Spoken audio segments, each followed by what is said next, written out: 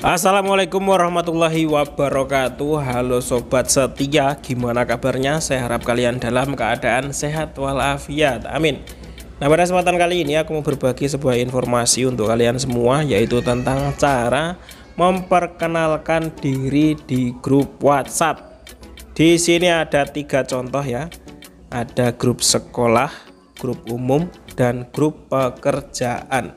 Nah tapi sebelum lanjut informasinya Jangan lupa tinggalkan jejak ya teman-teman dengan cara subscribe channel ini dan juga nyalakan loncengnya supaya kamu nggak ketinggalan ketika saya upload video terbaru.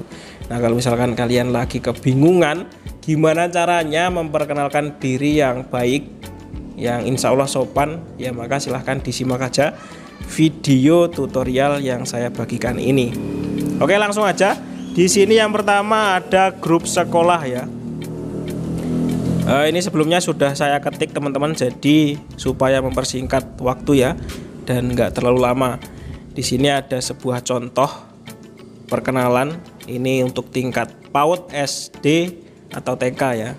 Ini biasanya kalau misalkan masih anak sekolah di PAUD TK SD ini biasanya uh, yang megang grup itu orang tuanya ya.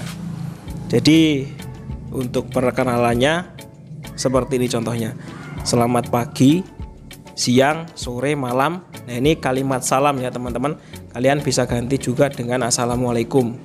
Gitu ya. Halo semuanya, nama saya adalah Miran. Saya adalah ibu dari Setio. Terima kasih Ibu Dian selaku wali kelas yang sudah mengundang saya bergabung dengan grup ini.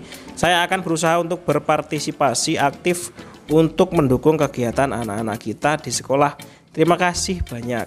Nah ini contohnya ya teman-teman kalian bisa menduplikat contoh ini. Terus contoh yang kedua ini untuk tingkat SMP SMA sederajat. Nah ini kalau grup SMP SMA sederajat ini biasanya sudah dipegang sendiri-sendiri ya.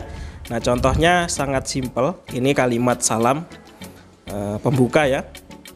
Kalian bisa ganti dengan assalamualaikum atau selamat pagi, siang, sore, malam. Halo semuanya. Perkenalkan nama saya Setio asal sekolah SD atau SMP Mangunsari. SD, SMP Mangunsari. Nah, ini asal sekolahnya ya teman-teman Mangunsari ini. Salam kenal ya. Nah, gitu aja. Sudah cukup insya Allah sudah sopan ya. Nah, ini contoh perkenalan untuk grup sekolah teman-teman. Sangat gampang ya. Terus kemudian yang kedua di sini ada grup umum. Nah, ini kalau grup umum biasanya lebih singkat lagi tuh. Nah, contohnya seperti ini. Tidak lupa kalimat salamnya. Selamat pagi, sore, malam semuanya. Atau juga bisa diganti dengan kalimat Assalamualaikum ya. Izin gabung ya, nama saya Setio dari Lampung. Terima kasih sudah mengundang saya untuk bergabung di grup ini. Nah, ini disebutkan asalnya dari mana tuh teman-teman. Gitu ya. Oke, sangat gampang kalian bisa ikuti. Uh, ini teksnya ya. Terus kemudian yang ketiga ada di grup pekerjaan teman-teman. Ini kalau grup pekerjaan ini sedikit panjang teman-teman.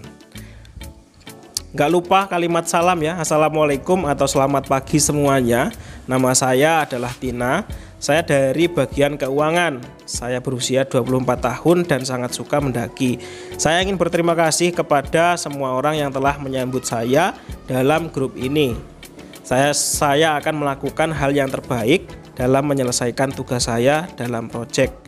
Saya berharap kita semua dapat berteman dan bekerja sama dengan efektif.